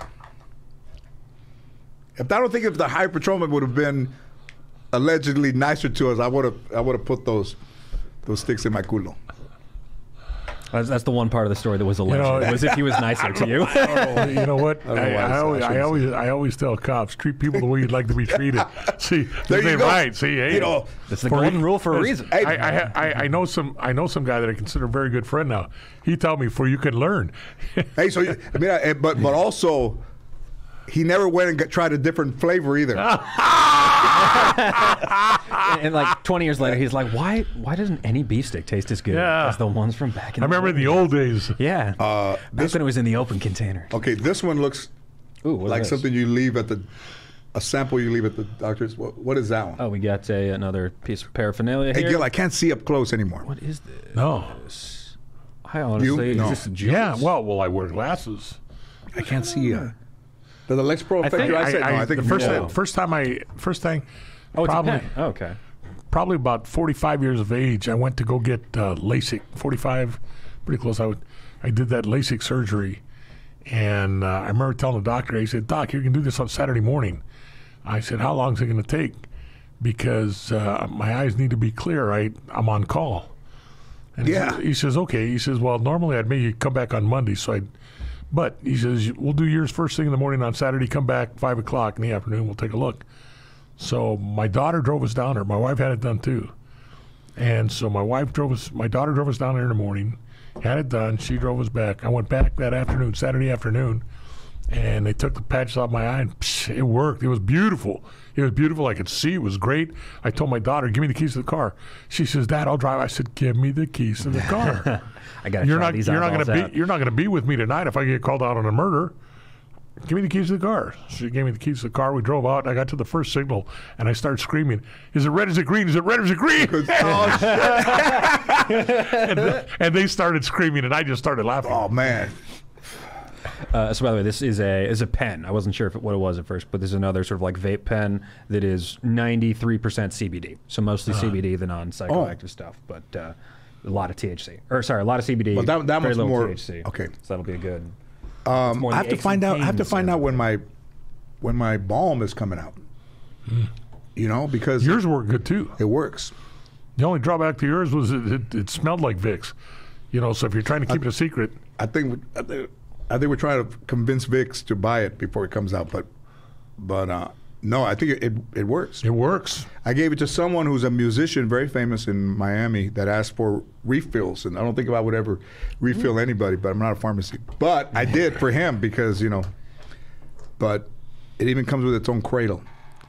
Okay, so I'm going to use I'm going to use two of these, and we'll talk about it next week. Do you want Do you want any of this? Uh, so you can take part. I'm gonna use the Bliss yeah. because of the Lexapro. Maybe I need to hire. I'm going to use the Bliss, and I'm going to use the Sleep, which I have one right here. I think you ought to use the Arouse and let us go buy you some beef sticks. You know what? I'm going to use the. I'll- and, and next week, beef and then the Hor, Horvath couple, and then next uh, Horvath, and then next uh, week, I'm gonna come with some beef sticks that everybody can enjoy at your leisure. All right, I'm gonna go to Costco and buy the same ones. I'll make sure those things are vacuum sealed. Yeah, they got to be Jimmy sealed. John's. um, and the sleep one. Oh wait, this one is Do a little research. Calm. Take, take, take notes when you're on. Make sure we get good data here. relief. Okay, I'm gonna try the bliss and the sleep one, and then we'll talk about it next next week. Sounds good. All right. We got a little time if you want to do any. Uh, Yeah, any- let's do some. do voicemails or articles. All right, Yeah, cool. And let's do also, voicemails. Uh, well, all right, we'll start with the voicemails. Throw on the cans. Uh, and cool news. I I know we talked about this a little bit, but um, so this episode will be airing August 9th. And uh, during that week, we will be featured on the Amazon Music Times Square billboard. What? So this art will be the the art. Is Gil gonna be on there too? Um, n- we had to submit it before we had the Gil art, unfortunately. So Gil, you will not be there. Um, but I mean, I didn't know this before we started doing the promotion. You can get podcasts on Amazon Music. You can Oh. even tell if you have an Alexa, you can tell them like, you know, Alexa, play the podcast OMG Hi with George Lopez on Amazon Music, and I got those. Playing. You have those in the house? Yeah, I, I do. Ah, It's great. It's great, isn't it? Yeah, but I like, but I like watching the YouTube. I like, I'm, I start laughing and I laugh at myself. Well, you know, I, I listen. I, I got to tell you, man. I mean, you know, Brian was just here like maybe three episodes, but when Gil took over, it became a you. You made it a different podcast, right? Oh yeah. What's different about it? Um, It's just more. the vibe. I mean, it's it's hard to nail down, but like people, I, I, I look at the YouTube comments. I shouldn't because that's a terrible place to be. But like every time, it's like, oh fucking. If you're gone, it's like, where the fuck is Gil? And if you're here, it's like, oh, Gil, Yeah. Gil's back, baby. No, I know, but they, yeah, and no, I mean, you talked about the guy that criticized, but I think more people like this. I think I don't know. I don't Oh, know yeah. how many. Oh, no doubt, more There'll people haters they it. like Yeah, the show. But if you if you're not if you don't have haters, I mean, I, I would hate to be a hater. I used to be a hater, but I would hate to be somebody that spent time wishing other people harm. Ah, Yeah, I- it was some NBA player. I want to say like Chris Chris Bosh or something like that, and he was talking about how he dealt with a lot of hate coming up, and he just started to treat it as like math. He's like, if I'm going to be on this big a stage, like, there's no way everyone's going to like me. And if we're in a group of five people, not everyone's going to that, like me. that, that's that's the absolute truth. You know, and I, I, I get it because there were a lot of haters as I was coming up. You know, Well, as a matter of fact, if you look at the documentary, there were haters that didn't think that it was one person, yeah, and they, Yeah. they made fun of you. And I think you went easy when they said they would they would tease you, but I, I'm pretty sure the way police tease is not as simple as you made it sound. Well, the only one, you know, the the guys in my department, uh, in my homicide bureau, was only a couple of guys that came and got in my face, uh, and there was the one agency in particular, and I had a friend on the inside, And he says, Gil, every time you walk out, they're motherfucking you up one side and down the other. They were sincere. And there was a sergeant, I want to say his name was O'Connor, the night of uh, July the 7th when Sophie Dickman got hit. And the informant, which was right lived right across the street from Sophie Dickman, she was a member of the sheriff's department. She did work our crime lab. Yes. And she was on the documentary. That's Lin- right. She- Linda Arthur. And I got there, and she lived across the street, and I got the message to call her up. I go, she, you got to come down here. Sophie Dickman just got hit. I think it's related. So I go down, and I'm standing across the street, out of their crime scene, out of their way. And that sergeant saw me, and he came on over, and the first words out of his mouth were, "What the fuck are you doing here?" Wow. And I just said, "Oh, good morning to you too." you know, and I never let him see that it bothered me, anything like that. Fortunately, uh, his captain was there with him. His captain was a little bit embarrassed. Said, "Come on in, we'll let you take a look right now." But uh, they were, you know, and they were led by the leader of that department. I won't mention his name, but he was the leader. He knows who he is, and he just wanted his department to solve the case. We were big brother to him, and the the smaller department wanted to solve the case and. What he didn't realize is we didn't care who solved it as long as it was solved. Well, I think that's. I mean, if you if you listen to B-Real, which I I would, he would say that you don't fuck with the sheriffs and the LAPD. Yeah. You're you're like iffy on them, like whatever. So Yeah. if they're trying to solve the crime to be uh, big in the in in whatever, you just want to solve the crime. They did not have the manpower or the or the logistical power to, to do it. They just didn't. When you talk about how many murders there were, how big their department is, we had people we could staff all over the county. They didn't. You know, they, they could take care of. How about this? How about in the the Manson case, when they were leaving, they changed clothes, and they were on Mulholland, and they threw the clothes over, and it was a reporter from ABC that said, "Okay, so if they left, let's get in the car and let me change clothes in the car, and let me see at what point are we where they would throw the clothes out the window, and then they look over, and there's the fucking clothes down the hill." And That is like your mother-in-law finding out, finding something that you did wrong, and she found it for you. You know that? you hate it, but it's it's somebody like that investigator just think that that reporter thinking outside the box. Hey, let's try. What is it going to cost me other than time? and they found and you know when the police when the LAPD showed up there they go well how did you uh, find uh, find out guys like you know there was somebody that you know had some inside information I mean the reporter just said let me get in the back let me change clothes and there they and there it was they were the clothes A real a real homicide investigator, and he's now dead. A guy named Charlie Guenther, who was one of my heroes. You know, he, he's an old guy, uh, short sleeves, and he rolled his sleeves up, wore tats on his wingtip shoes. You know, always had a piece of tobacco or a, or a cigarette or a cigar in his mouth, and he didn't care who solved what crime. And he, when the Night Stalker case, once we had an arrest, they had private investigators helping him out. Now he's the investigators on the defense side of this case. Charlie Guenther had an unsolved case, and he comes up to one of the investigators. Hey, you got some free time? I'd like you to take a look at this. Just give me a, a fresh view, because he didn't have all the answers. And you take help Yeah. from wherever you can get it. Those cops that think they're too good, you know, hey, you're a reporter. What do you know? Well you know You, you take any advice you can. last point but but you know in Mindhunter whatever that that guy wrote a book but they they you know they had to convince the FBI or convince law enforcement mm-hmm. that you could prevent a crime before it happened instead of being reactive with the right information following traits right I guess am I am I close I don't know. I've never been able to, Yeah. you know, prevent prevent something other than an obvious gang murder, you know, this this body hit this body, and you know who got hit over here. and you know Well, you know that they're going to retaliate. Right. So now you focus over here. So when these guys come across the line, you get them before they shoot. okay That, you know, you know what's going to happen. But aside from that, I don't see how Okay, you, how you stop it. valid All right. All right. Voicemails. Uh, George, pop pop quiz now that you got some of that uh, weed in you. What's the voicemail number? Shit 818-533-1843. I can never Eight one eight. I'm dyslexic I can five three you think you would have it in here five three 818. Oh, yeah, just call, leave voicemail for, for George. Gil to answer. Well, you know, what do you want people to ask about? We got all over the board, but let's ask some questions for Gil Love Life, we got some questions for Gil. 818-533-1843. I don't know I can't remember that All right, here's the first one. Away we go. Uh, just leave it right there. I see it right there on the screen. Hola, Jorge. Big fan. I have a question.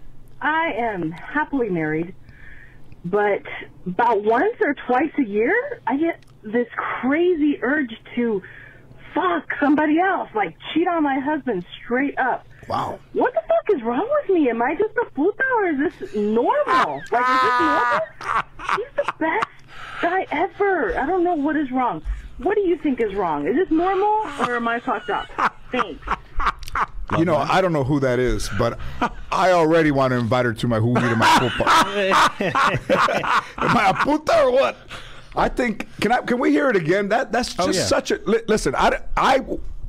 I'm not love sure. it. I'm not sure why I've been neglecting voicemails. If they're going to be like that, um, That's a good voicemail. That It- is it a- really This a very one of my honest favorites. lady. Yeah. And I, I love the honesty. Listen, Yeah. if there's if there's any place for a Latino to be honest, it is on that. What's the number, Gil? Hey, it is With your eyes. 818 533 8143. Let's hear it again. 1843. 1843. Cabrón. Leave that up there. Throw it on screen. The, Hor- the, the number to the Horvath University hotline. All right, you want to hear it again? You This said? is the Horvath University hotline. How can I help you? Here we go. Oh, sorry, from the top. Bless this putísima. I love her. Putissima's a great one. Come on. Grant, come on, motherfucker. Shit. on. It is not playing. Don't forget- Hola, Jorge. Big fan. I have a question. I am happily married, but about once or twice a year, I get this crazy urge to fuck somebody else, like cheat on my husband straight up. What the fuck is wrong with me? Am I just a puta or is this normal? Like, is this normal? He's the best guy ever. I don't know what is wrong. What do you think is wrong? Is this normal or am I fucked up? Thanks. I think. Did she answer her own question? Uh, no, but what, what do you think, George? What's uh, what, what are the thoughts on the matter? I'm not George. Don't look at me. No. you, you don't have to speak from experience. This can be a purely academic exercise. What? I, Well, I, I think she's a very nice lady myself. She's trying to help society and her own personal problems out. I mean, what? It, it, I mean, you know, there's some people that bring other things into the relationship. I mean, you know, maybe, maybe, you know what? Maybe her husband has the same idea that every once in a while he wouldn't mind banging somebody else. hey, she's happily married. If this is going to keep her happily married, I, God bless her. I don't know how you would present it to your husband, but I'm not sure. Listen, I was married for 17 years.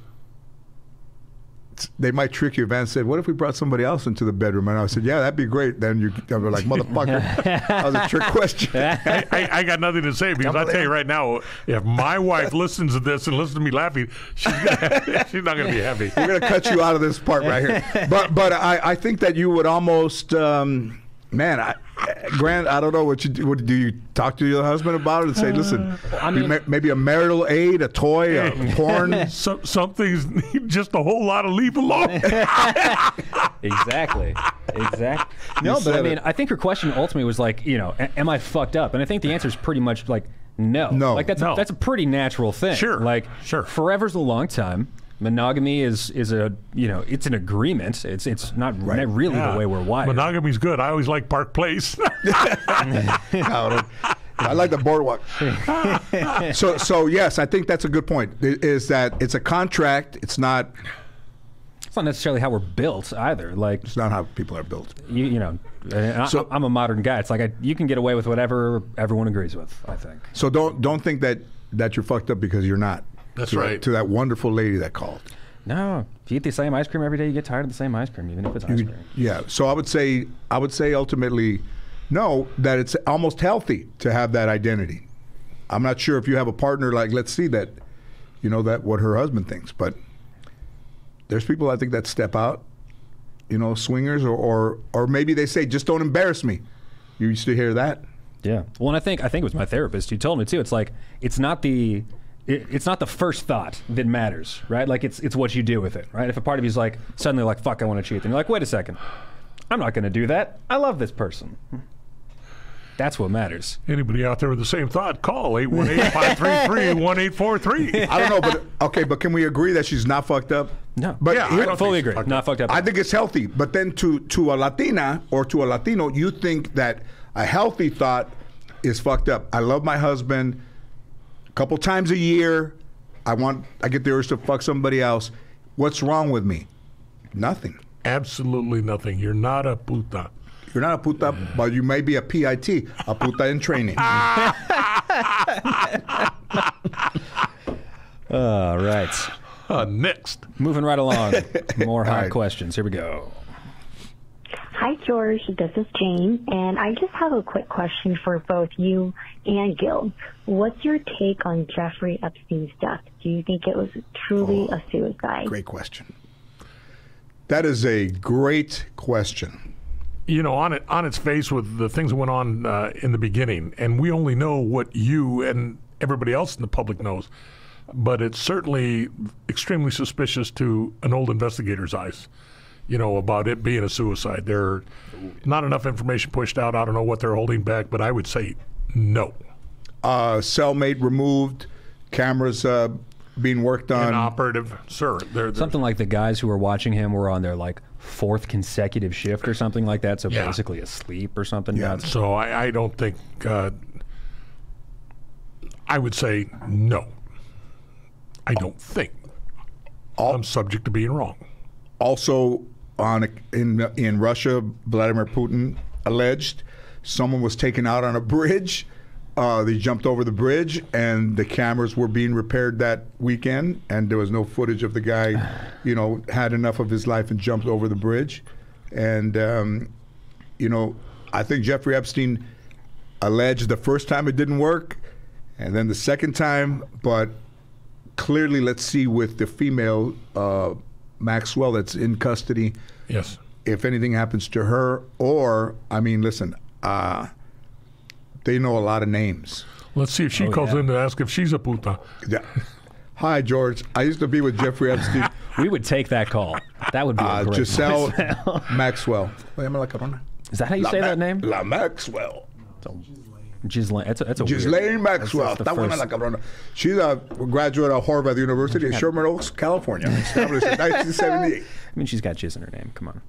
We got to do the Horvath University T-shirt too. I, that, that feels like good merch. The Horvath stuff. Uh, Gil, I don't know why you're not puffing on one of these because I've already taken three puffs. I'm already trying to figure out what I'm gonna do tomorrow. okay, one more? No, right. five more. Uh, we got we got time. Here we go. A couple more. Um, all right, next up. Oh, volume helps. I think I'm sucking out. of the, Okay. Even got a cradle. Anybody want a beef jerky while we're waiting? Grant? Cabrona. What up, George? This is Ben from North Carolina. Just saying, there was a stand-up comedian named Tim Wilson that a lot of road comedians in the South really enjoyed, but he passed away in like 2014. Doesn't really get any recognition. Are there any uh, stand-up comedians you met on your way up, or like in the 90s, 2000s era that nobody knows about, but all the comedians loved, or like you loved specifically? Just uh, Oh man, that's wondering. oh that's a great question. You know what? I think I knew Tim Wilson. Yeah, I saw, I saw you nodding during the uh, the voicemail there. Um, I think I. You know what? I, if it's who I think it is, I One name that comes to mind. Did you ever have any experience with Freddie Soto? I feel like he was a lot of people's sort of. Uh, Freddie Soto, yeah. I did not know Tim Wilson, but uh, yeah, you know, a lot of those guys, Rodney Carrington, still living, but was uh, incredibly successful in a, a genre like in the South. And then when my show was on ABC, he had a deal to do a show at ABC, and it didn't work out. Um, so, you know, he's incredibly successful, but it's it's hard to take, you know, somebody that is there's no guarantee that if you're successful that it will translate to TV. You know, Jeff Foxworthy was had an incredible has had an incredible career and had a show on NBC and it and it didn't work. Uh, Tim Wilson, I did not know, but Freddie Soto uh, had a show. I mean, Freddie Soto was on the way up. He was out there when I was when I was doing it, and I think that Freddie Soto would have been somebody that people would have heard of. You know, incredibly charismatic, um, charming dude, good dude. I think he OD'd. I think he Yeah, it was, it was something tragic. I know he passed Something away tragic, really yeah. close to I'm really surprised. Uh, Anjelah Johnson, right. Good entertainer, good good-looking young lady, Yes. very articulate, very sharp, former Raiderette. I'm really surprised that, you know, for whatever the reason, because I don't know the business at all, but I would think that she would have transitioned into something more than stand-up, just what she's doing. You know, I think I would agree. I mean, Anjelah Johnson's has always been incredibly charismatic, wonderful personality, comes across on stage, uh, attractive, did her work, has done her time, and um, you know, there's there's, well, I mean, it's hard to say, but I would think that if you look at uh, Tim Allen, when Tim Allen before he had a show, he, he got involved with Matt uh, Williams, who created the show. Um, Drew Carey was uh, was uh, successful in his show, and he was with Bruce Helford. I, you know, would say, "Hey, where's my Bruce Helford?" Bruce Helford and I did my first show, and I think maybe, you know, having a showrunner that is of that caliber makes a huge difference. Hmm. And I think that when comedians are coming up, if you don't have a, a showrunner of a particular caliber, it's like going into a gunfight with a knife. You hmm. want you don't want to show up with a knife, but also you think that if you hold out, maybe you don't find somebody better. Maybe there's not a better deal, but I can't speak for Anjelah, but I would I would be surprised what her story would be if we brought her in here and we asked why aren't you, you know, haven't had either a movie career or a TV career. Not that she hasn't doesn't have a great career, but if you I think you would ask her, every comedian aspires to be a star of their own show. and a very personable lady. We Yep. were invited backstage, got to meet her. She, just a wonderful, uh, wonderful lady and great entertainer. Yeah. And I think And she's got that Latina accent if she wants to go the Latina side. I, I think that that's I think that that's part of it. Like you know, and that you know, nail salon, bonqui, Oh. Bon Qui Qui. Uh, oh God, that is hilarious. I mean, sometimes that's sometimes that's enough to to get through. Yeah. But That was a great question. Good really question. liked that one. was a good question. Yes. cool. Uh, do you want to wrap it up? No, let's do. Want to do more? One more for Gil. All right. This is a good show, huh, Gil? Yeah, it is. I, I that question. This, uh, Gil, this one's for you. These bastards aren't playing. One sec. Am I gonna go golf? Yeah. What time is it? Oh yeah. I better, 350. you think I would have fucking brought my sticks over here? Better not. My palos. Like, You guys hear anything? It's, I'm not hearing anything either. No. That one is not Motherfucker, that- working. All right, I, ca- I can ask that question, which was simply Sofia Vergara or Salma Hayek. That was the entirety of the voicemail. Ooh. I don't care either one, either one of them are. Perla, what she's calling. no, um, Salma Hayek. you know, I was yeah, on my show. I, th- I had a thing for some. I, I put it in the show. Did you? Yeah, I put it in the show that If I had my show, I'd put it in too. I met her. Uh, you know, you know what's funny, man, is is you know when you start to when you start to have a little bit of success, you you don't you know. I remember she told me we were going to do a movie. We were, we were we were talking about doing the remake of War of the Roses with with uh, Michael Douglas. We Yeah. were married to each other, and, and we talked. You know, I talked to her about it. I went to her office, and I remember she said to me, because my show got canceled, and I was, you know, in the press, not happy. And I remember she said to me, "What the fuck are you so fucking miserable about? You want to spend your fucking life in a fucking stage? You don't see the fucking light. You don't see your fucking life. You want to be trapped in a fucking stage?" I was like, "Oh, all right." That makes sense. You want you want to be put away for another three years when you could be doing other shit. And then uh, George Clooney's office was right across from the stage at Warner Brothers. It was Ellen, it was ER. Then it became Ellen. Then George Clooney's office and mine. And one day we were on a break and we saw some couple people walking, and the guard said, "That's Salma Hayek right there." And I said, "Salma!" Turned around, saw me, and started running towards me. I was eating popcorn. We had a popcorn thing. We was eating popcorn, and I looked at the guard and the people, and I go, "Salma Hayek is running toward me." and she comes up and she she grabs some popcorn out of the thing, puts it on her, eats it, and then we talk a little bit, gives me a kiss, and you could taste the salt from the popcorn on the. So that's what I that's what I do right before I light a fire.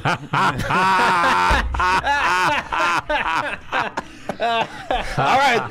It's been a fantastic show. Gil, I love you, man. Thank I you. love you, Thank you brother. Thank again, you. Grant. Aaron, you you never see up over there, fucking uh, Bosley of Charlie's Angels. exactly. Uh, thank you, man. A lot of fun, brother. Thank you. Awesome. Thanks, good. guys. See you next time.